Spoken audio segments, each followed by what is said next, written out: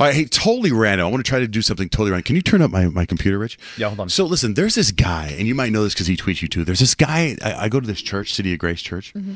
and there's this guy, and he's like, he looks really cool on stage when he sings. In fact, my wife wanted to set him up with our babysitter, but it turns out he's married and has a kid. Didn't know that, but she was in the process of trying to set him up, and I said, you can't just set people up you don't know.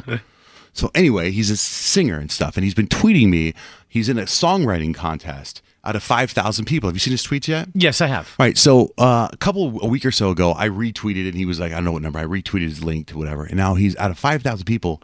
He's at number forty six. But that's, That's really pretty good. That's huge. So now I'm like, oh, by the way, his past, like he went on Prices Right. You know, and, and you become a contestant on Price is Right if you have a great personality. Yes. And he won a car.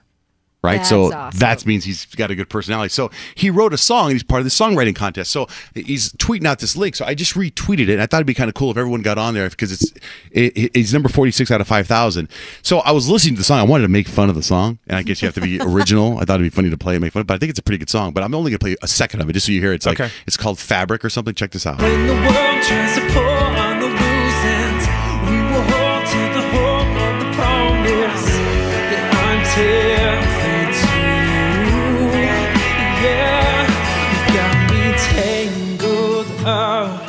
Got me tied in knots, you got me all wrapped up in your threads of love.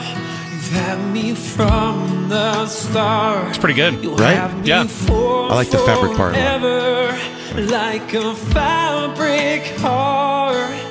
We've been stitched together.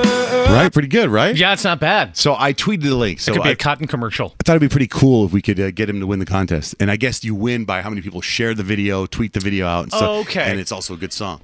Yeah, that's not too shabby there. Good for him. His name is Matt Hay, so give him a shout out, and you can see him perform at City of Grace. hey, Hump Day! No, how's it go? Hump day. Hump Day, Matt Hay, That's why I said that. Matt Hay. I was trying to get it right. I was trying to get. I couldn't get the thing.